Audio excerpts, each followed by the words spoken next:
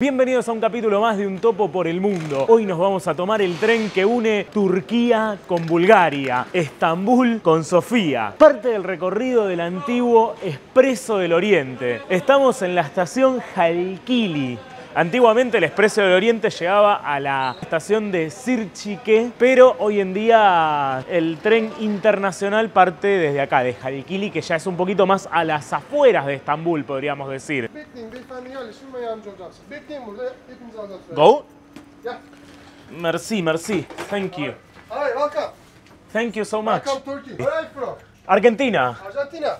Yeah. I'm from Istanbul. Come please. Welcome. Thank you. Hey, hello. Nice to meet you.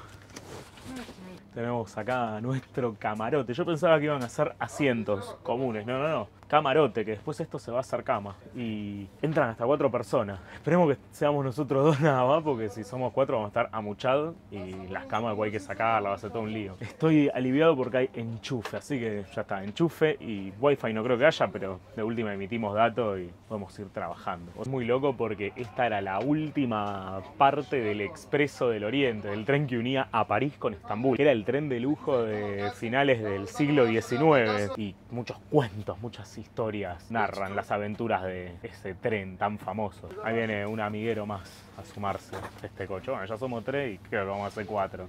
Amuchados iremos, pues. Sergey. Sergey. Benim adım Sergey. You? Irak. Enak. Pablo. Uh, Babylon. Where are you from? Baghdad. Baghdad? Yes. Ah, you're from Iraq. Yes. Great. Salam aleikum. Alaikum salam. I'm from Argentina. Bueno, definitivamente seremos cuatro. Es nunca una minita, eh. Ahí hay uno que están por viajar con un husky. Una hermosura ese perro. I'm from Bucharest. Bucharest. Where are you from? Bucharest. Where? Jazair. Argelia. Argelia. Ah, tipo francés. ¿Qué tal estás? Ah, hablas español. Hablo español. Un poco. Vivo ahí. En España. Ah, un gusto. Tenemos la calefacción zarpa, un calor está haciendo acá. Más madera. Acá vino el mozo a traernos la sábana. Siempre que voy en estos lugares digo, debo ser el único latino viajando en un tren de Turquía a Bulgaria. No. Acá hay cuatro amigos, amigos y amigas colombianos. Y que no hay blog de este tren, no existe. Entonces tengo que sentar acá un precedente porque nos preguntamos, ¿habrá coche comedor? No lo sabemos. ¿A qué hora paramos en la frontera? No lo sabemos. ¿Venderán comida arriba del tren? No lo sabemos. ¿Venderán comida en la frontera? No lo sabemos. Así que este informe, esta crónica de viaje sentará un precedente para que alguien vaya a venir acá y diga, pasa lo siguiente en el tren y no están así a la expectativa como nosotros. Ninguno compró comida acá. Uh, vamos a terminar como los de Viven. bueno, 20.45, puntuales. Estamos partiendo de la estación Gil Khalil en Estambul. Yo ya estoy en el coche, de- en el camarote de los colombianos. Hermandad Latinoamericana. 14 horitas de viaje nos espera. Para hacer unos 650 kilómetros. Muchos se quejan de la lentitud de los trenes argentinos. Bueno, vengan acá a tomarse este tren entre Turquía y Bulgaria. Nótese, los boletos son de papel. A la vieja usanza. Me siento en el Tren Gas Mar del Plata en los años 90. En Argentina también suelen ser de papel, pero así papel impreso de, de impresora a cinta. Your names and passport numbers. Ok, acá vino el guarda a decirnos que no hay, no hay comida en el coche. El amigo me está diciendo vamos a hacer como en Ramadán.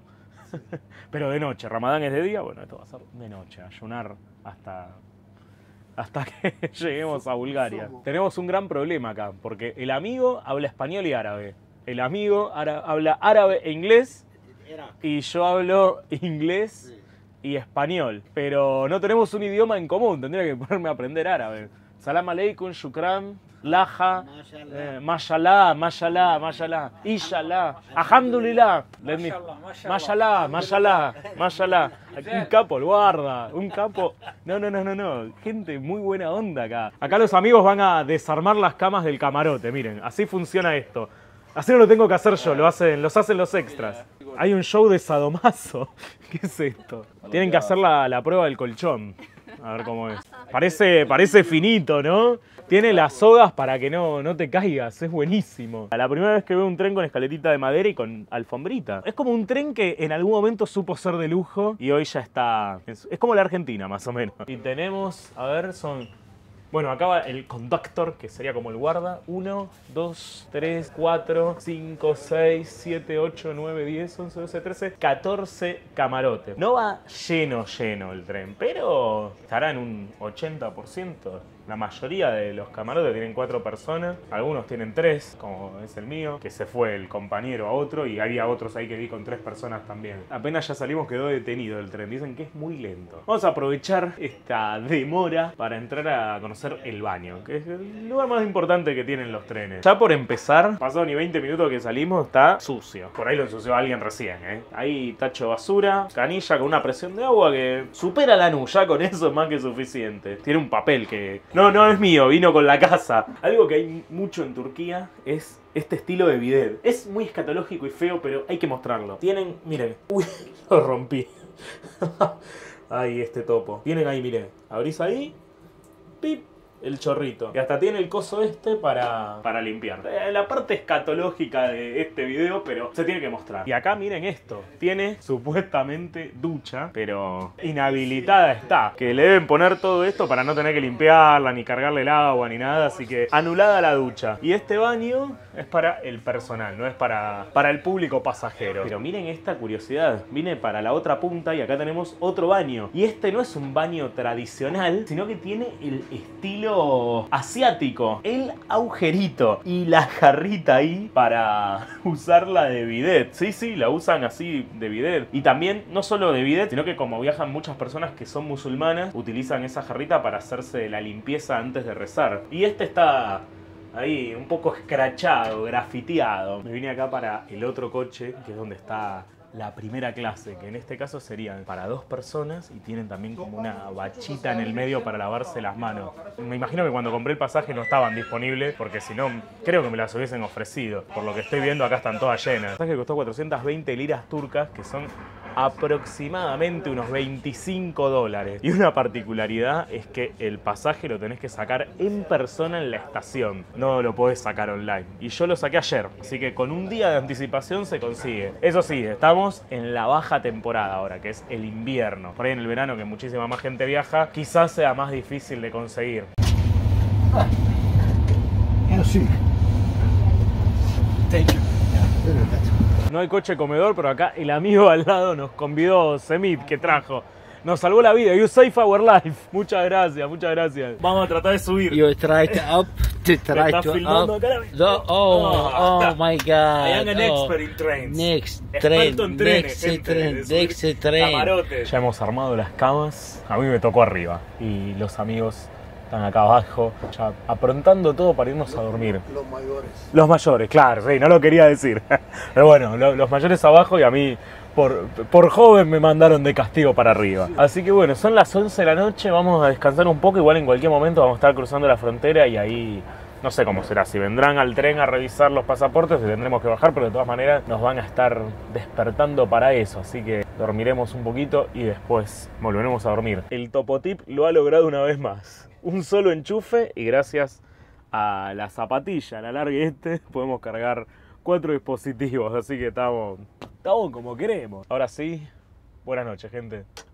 2 y 20 de la mañana nos acaban de despertar golpeándonos la puerta del camarote onda película de la Segunda Guerra Mundial porque se viene el control de los pasaportes. Estuvimos parados por una hora para que nos controlen el pasaporte y ahora vamos a bajar. Estamos en la estación de Capicule. Esto es como una especie de triple frontera porque no solamente está Turquía y Bulgaria, sino que acá al lado está Grecia. Me miran no solo porque estoy en remera, sino también de ojotas. Después del frío de Rusia y todo esto ya es verano puro. Acá estamos con gente de la otra clase que trajeron la pava eléctrica, la están enchufando y me están ofreciendo ahí un té o agua caliente. Me acaban de dar este tecito que les digo que no está bueno, pero algo caliente hasta ahora, algo líquido en mi boca en este momento es espectacular. Pero no te proveen absolutamente nada, ni un vaso de agua, nada. Uy, lo que no sé de dónde habrán sacado esta agua, me da un poco de miedo. No sé si seguir tomando. Me pa' que no, eh. Me pa' que no. Tiene un gusto turbio. Prefiero aguantar un poco más, unas 10 horas. Nótese de que es un tren eléctrico. Creía que iba a ser diésel, pero no. Eléctrico, acá lo tienen. Por lo que se ve ahí, es una locomotora Skoda. Final de la estación, que es allá, hay un lugar que vende cosas y vamos a ver si consigo agua caliente para el mate. No nos dijeron nada, no te informan absolutamente nada. Lo descubrió el compañero de camarote eso. Y acá agua caliente que ya tenemos en el mate y tostadito de queso halal. No puedo creer que en plena frontera entre Turquía y Bulgaria haya conseguido un sándwich vegetariano. De hecho, es el único sándwich que hay. My friend. My best friend. Tremendo. El gusto de, de haber tenido My hambre. best friend. El sándwich más la gaseosa, 50 liras turcas. Regalo, me parece. Después de estar dos horas reloj parados en la frontera del lado turco, partimos hacia Bulgaria Entre el control de pasaporte y qué sé yo por qué se demoraron, bueno, tardamos eso. No sé si ahora volveremos a parar allá y cuánto tardaremos. Misterio, misterio. Tarda tantas horas no porque sea lento el tren, sino por el tiempo que pasa parado en la frontera. Mate, mate. You know? Yeah, yeah, I know. متي عشبة عشبة متي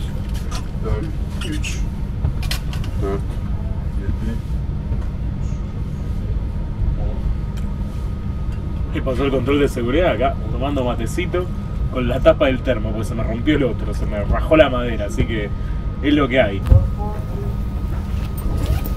Después de cuatro horas todavía seguimos en la frontera, el lado búlgaro. Ahí nos trajeron el pasaporte sellado. Bueno, ahora vamos a seguir durmiendo si podemos.